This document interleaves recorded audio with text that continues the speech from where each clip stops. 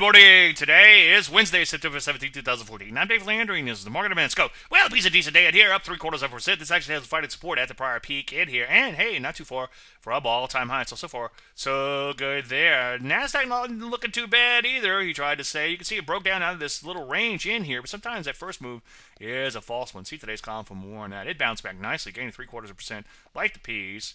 Yes, sir. Take a look at the Russell, kind of all over the place. Only up a little bit yesterday. Even 2014 has been all over the place. Ideally, I'd like to see it make new highs with the market itself. Some areas getting whacked in here, such as energies, pulling back a little bit yesterday, but so far it looks like just that up pull, that pullback. Real estate, also one of those areas. Bonds continue to slide in here. That means rates are going up. And it's not the absolute level of rates, as I've been writing, it's the delta or the change in rates. So we need to keep an eye on this situation. But so far, so good. Any questions, as usual, Dave at DaveLandry.com. I'm Dave Landry, and you just heard Market a Minute.